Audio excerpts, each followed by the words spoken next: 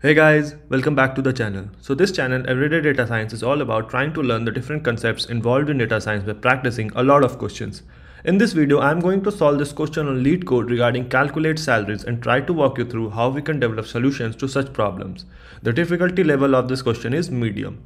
Okay, so let's jump right in. We are given a table called salaries with four different columns, company ID, employee ID, employee name and salary and these are the data types. The combined company ID and employee ID column is the primary key for this table. This table contains the company ID, ID, name and salary of an employee. We are asked to write a SQL query to find the salaries of the employees after applying taxes and round the salary to the nearest integer. The tax rate is calculated in the following way if the maximum salary of any employee in the company is less than thousand dollars then 0% between thousand and ten thousand including both these numbers then 24% tax and if uh, greater than 10,000 then 49% tax. Remember the tax rate is calculated for each company not each individual right the order of the result does not matter. Okay so let's go let's go through this example. So here we are given input.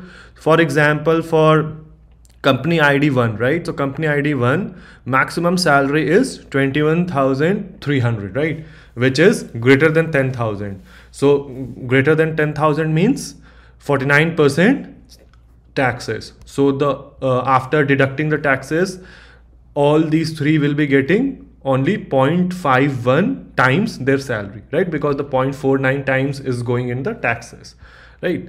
So this is what the output is going to be. Similarly for two, three, like it would be in different tax slabs.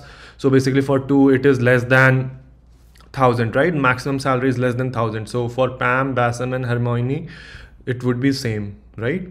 So this is how we need to do. So basically what do we need to do? For each of the company ID, we need to calculate the maximum salary and based on certain condition that if maximum sal salary satisfied one condition, return like X amount of salary. If it satisfied another condition, return Y amount of salary and things like that. So again, a classic case of using window functions and case when statements, right? So let's first add a fifth column here, which tells us what is the maximum salary for each of the company ID right? So from this table called salaries let's return every column because like let's return everything and then create a fifth column based on window functions right? So since we are writing a window function we are we need to write over clause. So over and then partition by company id not employee id why? Because for different companies we need to uh, calculate the tax rates right? So this this information is company based not employee based so once you create the partition right then what do you need to do is take the maximum value from the salary column and let's alias this thing as max salary right? Okay and then let's store it in a common table expression right? And then put this in parentheses. So basically what this is going to do is this is going to add a fifth column here called max salary. And for each of the company ID so for company ID 1 maximum salary is 21,300 21,300 so 21,300 21,300 10,800 for this 700 700 700 right and similarly. Now once we have this then using this common table expressions what we can do is so we need to return company id employee id employee name and salary but salary after deducting the taxes right?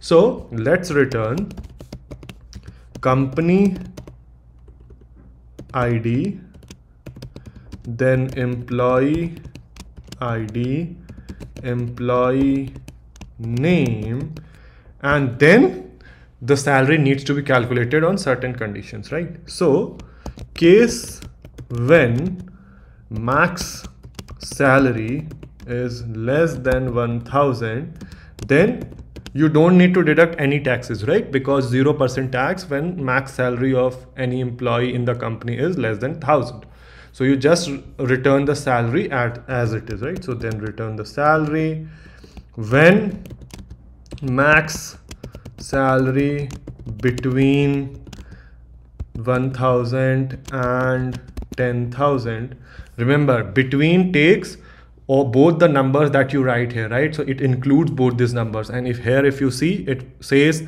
inclusive right? So you need to include these numbers as well. So it takes care of this. So when maximum salary is between 1000 and 10000 then you deduct 24% from the salary so when you deduct 24% from the salary you are only left with 76% of the salary right? So you return 0.76 times the salary value.